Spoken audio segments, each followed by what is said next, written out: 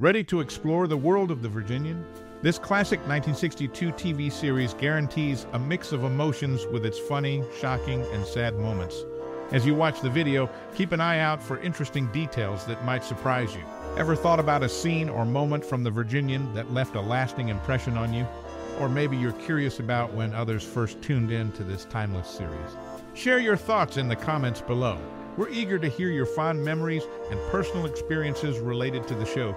So sit back, relax, and get ready for an unforgettable journey down memory lane with The Virginian.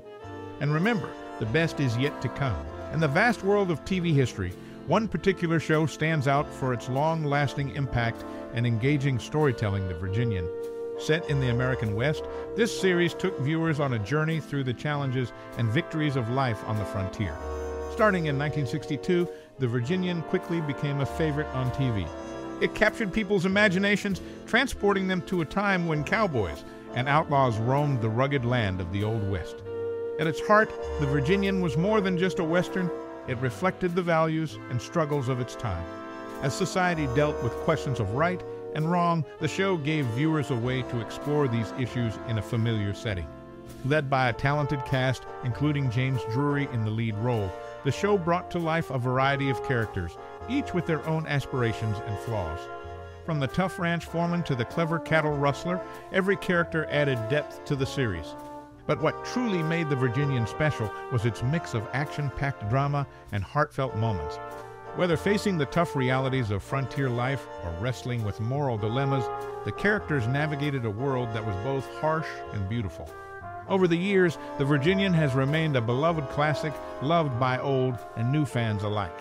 Its timeless themes and memorable characters still touch audiences, reminding us of the power of great storytelling.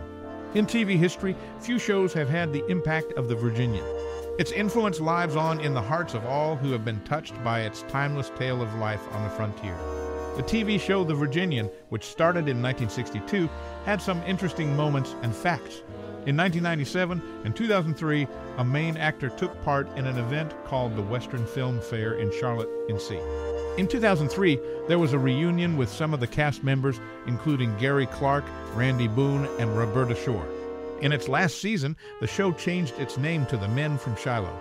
The opening credits got a makeover with a style inspired by Italian westerns. They even got Italian composer Ennio Morricone to create a special theme for it. In one episode of the first season, called Woman from White Wing, they revealed that Betsy, Judge Henry Garth's daughter, is adopted. This detail was only mentioned in that episode. These examples give us a peek into what made the Virginian special, showing how it changed over time. The actor from the Virginian was Earl Hamner Jr.'s first choice for the main role in Falcon Crest, where Jane Wyman was the star. He appeared in the first unaired episode called The Vintage Years, but didn't stay on. Robert Foxworth then took over the role of Chase Gioberti until he left after season 6 in 1987. He also was the first to record Let There Be Peace on Earth. After leaving The Virginian, he wrote scripts that introduced Hymie, the robot, to the Get Smart TV series. His work on Falcon Crest and Get Smart showed how good he was at different things and how he influenced TV at that time. This shows how good he was at different things and how he left a mark on TV. Such talents often leave a strong mark on different projects, making them more interesting. His journey through different roles and projects shows how much he cared about storytelling. His work on different shows, from Falcon Crest to Get Smart, shows how much he influenced TV. His work continues to be remembered by audiences, showing how important it was. His name will always be remembered in TV history, showing how important his work was. This story about his career shows how talented and creative he was. The actor from The Virginian had a strong connection with Barbara Stanwyck on The Big Valley. He, alongside Troy Donahue, inspired the character Troy McClure on The Simpsons. The show has more 90 minute episodes than any other TV series, making it unlikely any other show can beat its record. His partnership with Stanwyck and his impact on popular culture made him memorable in the entertainment industry. The TV show The Virginian, which aired in 1962, had some interesting moments off camera. In 1996 and 2003, one of its stars attended the Western Film Fair in Charlotte, North Carolina. In 2003, she met up with co stars James Drury, Gary Clarke, and Randy Boone. Besides her role in The Virginian, she also acted in other TV shows like Owen Marshall, Counselor at Law, and The Six Million Dollar Man. Another actor from the series appeared in movies dealing with sensitive topics like The Burning Cross in 1947 and Storm Warning in 1950, where he played a Klansman. Doug McClure and James Drury couldn't be in all 249 episodes because of the show's long format. The Shiloh Ranch in Medicine Bow, Wyoming was where the show was set. Doug, from New York City, grew up on an Oregon ranch, which made him love horses and the outdoors. He often talked about his childhood riding through the wild landscapes of the Pacific Northwest, which helped him in his role on the show. Even though they weren't in every episode, both Doug and James had a big impact on the show, and people loved watching them. The chemistry between them and the rest of the cast made The Virginian a favorite show for many people around the world. Their work on the show showed how talented and committed they were. The Virginian story still lives on, showing how powerful storytelling and TV can be.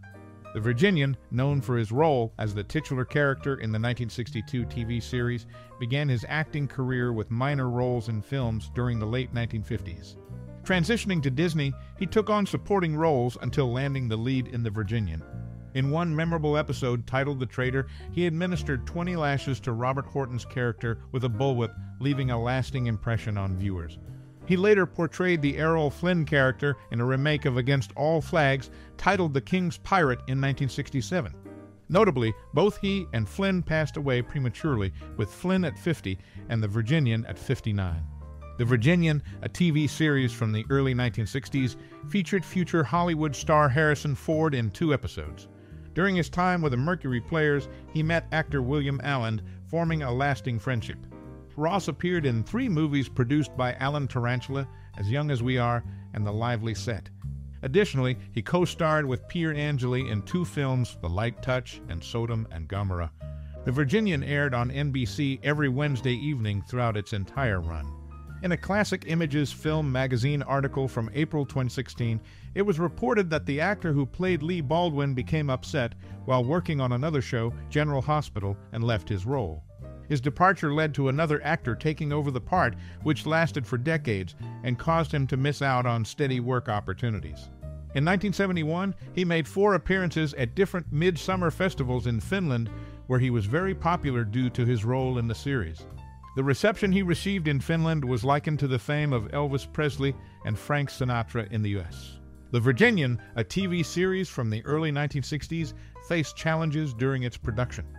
One of the lead actresses, Roberta Shore, had limited roles in other projects after leaving the show.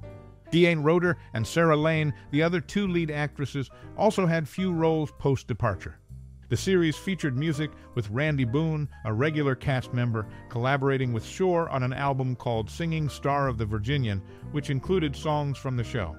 Additionally, Lawrence Welk and the Tutti Camarata Orchestra recorded many songs with Shore for Dot Label and for Walt Disney's Buena Vista label.